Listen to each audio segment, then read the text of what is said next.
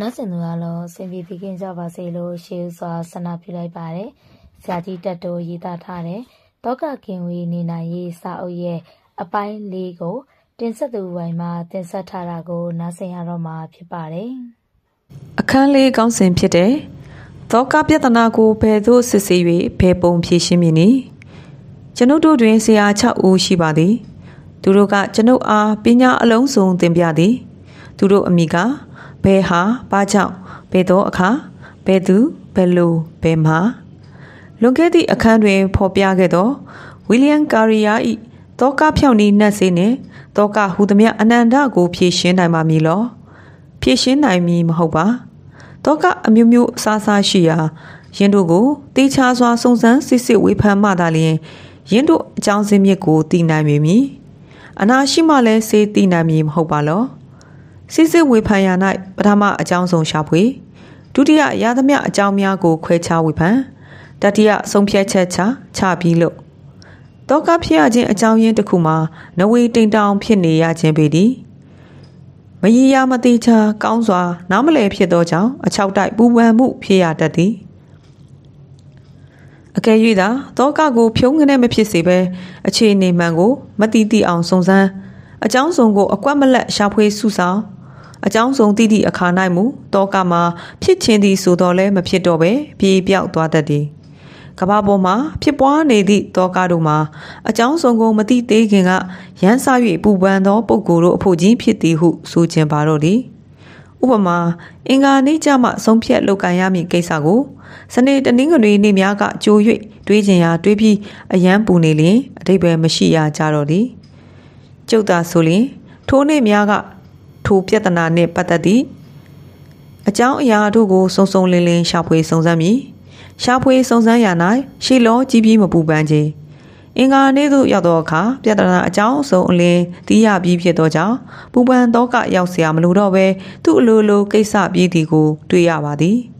ဤသို့လျှင်ကိုလံဘီယာတက္ကသိုလ်ဆရာကြီးဒေါက်တာဟော့စ်ကပြောဖူးလေသည်ဒေါက်တာဟော့စ်အဆိုကိုပြန်ဆိုပါဦးမည်မှတ်သားကြပါ လူတဦးတယောက်သည်ပြဿနာတစ်ခုခုအတွက်အကြောင်းစုံကိုရှာဖွေစုံစမ်းရ၌စိတ်ဝင်စား၍ကြိုတင်ဆုံးဖြတ်ချက်မရဘဲအရင်အတိုင်းသာစုံစမ်းပါလေထိုပြဿနာအတွက်တောကပေါ်ပေါက်ရန်အကြောင်းလမ်းများပေါ်ပေါက်တော့မည်မဟုတ်ချေကျွန်ုပ်တို့တွေ၌အကျဉ်စိုးတစ်ခုရှိသည်ယင်းဒီကအကြောင်းတစ်ခုခုကိုစုံစုံလင်းလင်းမသိခင်ကကိုထင်ရကိုဆုံးဖြတ်ချက်ချလိုက်ခြင်းပင်ဖြစ်သည်ဆုံးဖြတ်ချက်ကိုအရင်ဆုံးချပြီးမှ ထိုဆုံးဖြတ်ချက်ကိုထောက်ပံ့မည့်အချက်အလက်အများကိုသာရှာဖွေစုံစမ်းလေသည်ထိုဆုံးဖြတ်ချက်ကိုမှားသည်ဟုညွန်ပြသည့်အချက်များကိုမူမြည်မြပင်ထင်ရှားစေအောင်တော့ပြစ်ပယ်၍ငါစကားနွားရသဘောမျိုးထားတတ်သည်အကယ်၍သာအကြောင်းတစ်ခုခုကိုအချက်အလက်စုံစုံလင်းလင်းသိပြီးမှဆုံးဖြတ်ချက်ချလျင်ပူပန်စရာလည်းမလိုမှားစရာအကြောင်းလည်းမရှိပြဿနာသည် သူ့ဘာသာသူဖြေရှင်းပြီးသားဖြစ်တတ်ပေသည် တောကဖြစ်လာသည့်အခါမျိုး၌ကတောကအကြောင်းကိုခေါင်းအေးအေးနှင့်စီစက်ဝန်ဖန်ဖို့အလွန်ခဲယဉ်လှပေသည်ထိုအခါမျိုး၌ဆရာကြီးဒေါက်တာဟော့စ်၏နီလန်သည်အသုံးပြု၍လွယ်ကူမည်ထင်ပါသည်ထိုနီလန်မှာအောက်ပါအတိုင်းဖြစ်သည်နံပါတ်1တောကဖြစ်စေမည့်အကြောင်းရင်းများကိုရှာဖွေစစ်ဆေးရ၌ကျွန်ုပ်သည်ကျွန်ုပ်နှင့်မသက်ဆိုင်အခြားသူတဦးအတွက်စုံစမ်းရှာဖွေပေးရတဲ့ကဲ့သို့စိတ်ထားပြောင်းပြီးစုံစမ်းရှာဖွေလိရှိပါသည်။ နံပါတ်1ကျွန်ုပ်ကိုတောကပေးနေသော ပြဿနာကိုစစ်စစ်ဝေဖန်ရ၌ကျွန်ုပ်သည်ကျွန်ုပ်၏အကြိုက်သို့လိုက်၍မစုံစမ်းဘဲကျွန်ုပ်မနစ်သက်သည့်ဘက်မှနေ၍အကြောင်းရှာဖွေသည်ကျွန်ုပ်၏အပြစ်ကို အထူးဂရုပြု၍ရှာဖွေသည်အမှုတစ်ခု၌ကျွန်ုပ်ကိုကန့်ကွက်ထုချေသော ရှေ့နေအဖြစ်သဘောထား၍စုံစမ်းရှာဖွေလေရှိပါသည် ကျွန်ုပ်သည်ယင်းသို့လျှင်ကိုဘက်ကသာမက ကိုအပြစ်ကိုဖော်ပြသည့်စံကျင်ဘက်ကလည်းအကြောင်းများရှာဖွေလိုက်ခြင်းအပြင်ကျွန်ုပ်သည်ကျွန်ုပ်ထင်သလောက်လည်းမကောင်းကျွန်ုပ်ကိုစံကျင်သူတို့ထင်သလောက်လည်းမဆိုးထိုအစိုးအကောင်နှစ်ခုကြားတွင် အမှန်တရားရှိလိမ့်မည်ဟု တွေးထင်မှန်းဆနိုင်ပေသည်မြည်သည့်ပြဿနာမျိုး၌မဆိုအကြောင်းအစုံလင်မသိဘဲနှင့်မြည်သည့်ပညာရှိမြည်သည့်တရားယုံတော်ကားမြဆုံးဖြတ်ချက်မချနိုင်ကြထိုအချက်ကိုခမားတို့ကျုပ်တို့ သိခြင်းသိမည်အမှတ်တမဲ့နေမိခြင်းနေမိမည်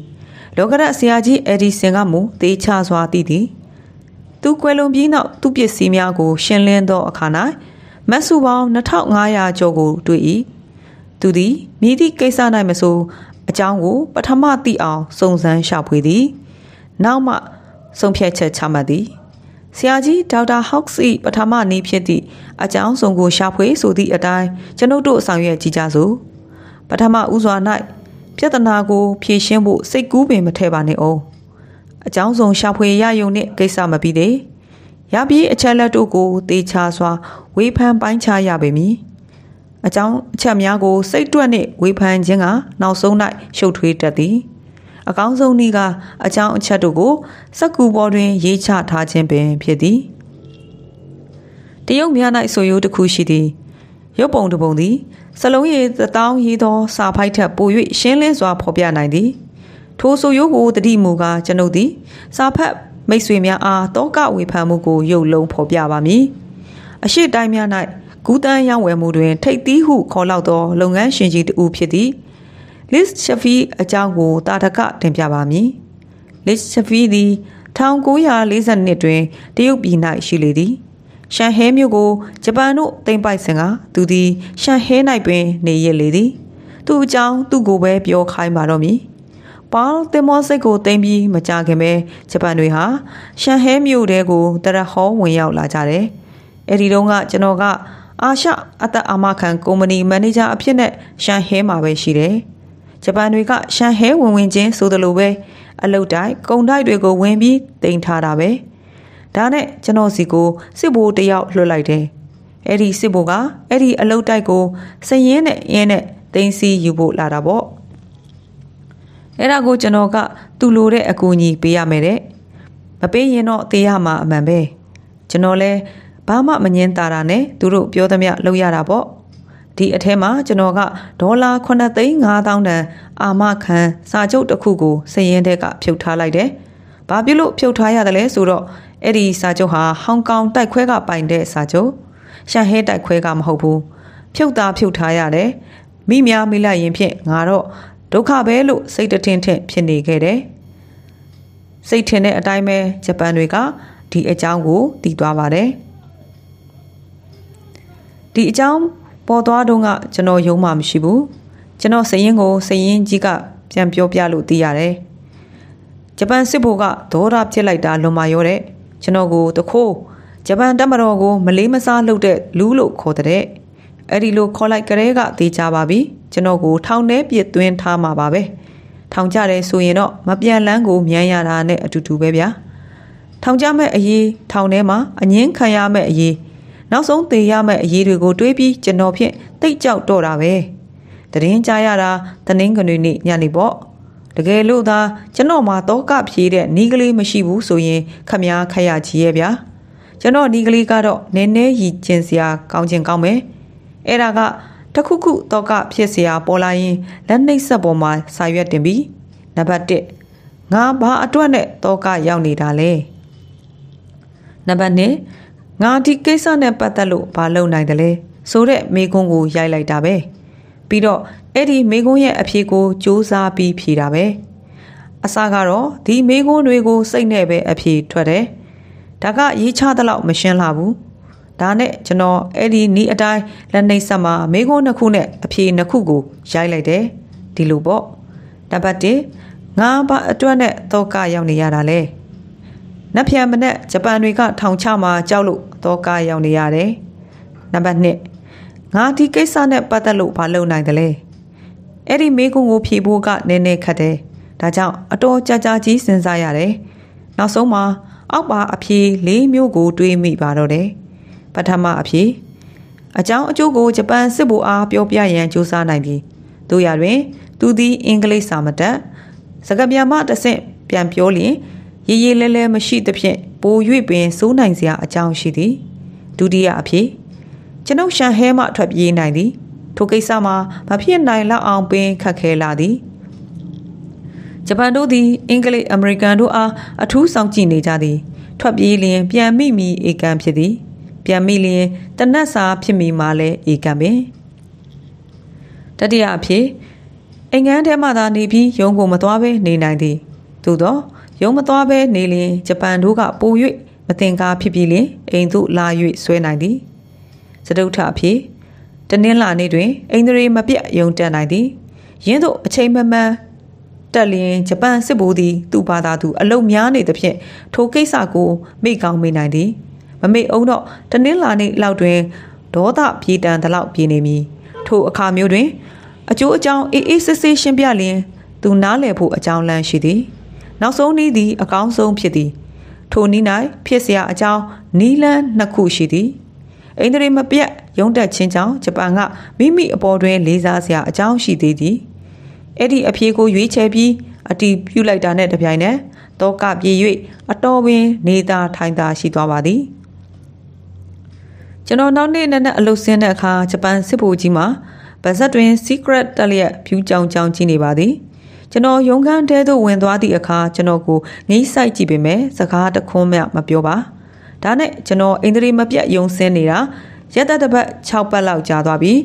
အဲ့ဒီစစ်ဘိုဟာအထက်အမိန်ကြောင့်တိုချိုမြို့ကိုပြန်ရပါတော့တယ်သူမရှိကြတဲ့ကကျွန်တော်ပူးစရာအကြောင်းမရှိတော့ပါကျွန်တော်ပြောခဲ့တဲ့အတိုင်းပဲတောကတစ်ခုခုဖြစ်စရာရှိရင်ကနန်းတွက်တယ်လို့ခြာရေးကြည့်တာပဲအကယ်၍သာဟိုနေ့ကဒီလိုကနန်းတွက်တဲ့သဘောနဲ့ခြာမရေးဖြစ်ဖဲကမူးရှုတို့လုပ်မယ်ဆိုရင်အဲ့ဒီနေ့ညကတရေးမှလည်းအိပ်ဖြစ်မှာမဟုတ်ဘူး နောက်နေ့ရုံးတက်သွားရင်လည်းအိပ်ပြတ်တဲ့မျက်နှာကြီးကိုဂျပန်စစ်ဘိုးမြင်လိုက်တာနဲ့တပြိုင်နက်မတင်ကားဖြစ်ပြီးနောက်ဆုံးတော့ထောင်ထဲမှာတည်ဖို့ရအကြောင်းသားများတော့တာပေါ့ကိုတွေ့ပြောရမယ်ဆိုရင်ဘယ်ကိစ္စမျိုးမဆိုချတွက်ပြီးအပြီးအပိုင်ဆုံးဖြတ်ချက်ချတာအကောင်းဆုံးပဲကျွန်တော်တော့ကားကိုဟောဒီလမ်းလေးသွဲနဲ့ထိုးစစ်ဆင်းပြီးချိန်မုံပစ်လိုက်တာပဲလမ်းလေးသွဲကတော့ဒါတွေပေါ့ပထမလမ်း ကျွန်တော်ဖြစ်နေတဲ့တောကနဲ့ပတ်သက်တဲ့အကြောင်းကိုအတိအကျချရေးတယ်ဒုတိယလမ်းအဲ့ဒါငါဘာဖြစ်နိုင်တယ်လဲဆိုတဲ့မိကွန်းကအဖြေကိုရေးချတယ်မိကွန်းအဖြေကိုရေးချတယ်တတိယလန်လုံနိုင်မဲ့နီလန်းတွေတဲကဘယ်နီးကလိုက်မဲဆိုတာအတိအချာစဉ်းစားပြီးပိုင်းဖြတ်လိုက်တယ်စရုပ်ထလန်ဆုံးဖြတ်ပြီးတဲ့နီအတိုင်းအမြန်ဆုံးလှုပ်တော့တာပဲ အဲ့ဒီလိုဒုံဒုံချဆုံးဖြတ်ပြီးရဲရဲကြီးလှုပ်လိုက်ရင်ပဲတဆန့်ငငယ်ဖြစ်နေလို့ပွားများနေတဲ့တောကတွေဟာမိကိုတွေလိုပဲပျောင်မှန်းမသိပျောက်သွားတော့တာပဲဗျာစားဖတ်သူမိတ်ဆွေလေချီဖီနီကိုသဘောမကျဘူးလားစမ်းကြည့်ပါလားလက်တွေစမ်းကြည့်မှသူ့နီလန်းကောင်းတာသိတော့မှာပေါ့ဒီလိုဖြင့်အောက်တွင်ပြထားတဲ့နီကလေးကိုလည်းအသုံးပြုနိုင်အောင်အကွက်ရိုက်ထားပါလားမိကွန်းတစ်ငါဘာကြောင့်တောကရောက်နေရတယ်လဲ အဖြေကိုအောက်မှာချက်ချင်းရေးပါမိကွန်းနှစ်ငါဘာတတ်နိုင်တယ်လဲတောကကင်းအောင်ဘလို့လုပ်ရမည်ကိုစင်းစင်းဆဆနဲ့နီလန်းတွေကိုရေးချပါနံပါတ်3ဒါဖြင့်ငါဒီလိုလုပ်မယ်မိကွန်းနဲ့အဖြေတဲကအကောင်းဆုံးနီလန်းကိုရွေးပြီးရေးပါမိကွန်းလေးကဲဘယ်တော့လုပ်မလဲချက်ချင်းလုပ်ပေါ့ဆရာကြီးတက်တော်ရေးသားထားတဲ့ တောကကင်ဝေးနေနိုင်ရေးစာအုပ်ရဲ့အပိုင်းလေးကို တင်ဆက်လုပ်ပြီးပါပြီ။ဤစာအုပ်ကိုရေးသားခဲ့သူဆရာကြီးတက်တော်ရဲ့ကျေးဇူးများကို အောင်မေတ္တရလျက်ပါ။နာဆင်ခဲ့သူအလုံးအစဉ်ပြေပြေကင်းကြပါစေလို့ဆန္ဒပြုလျက် Audio Book by Zed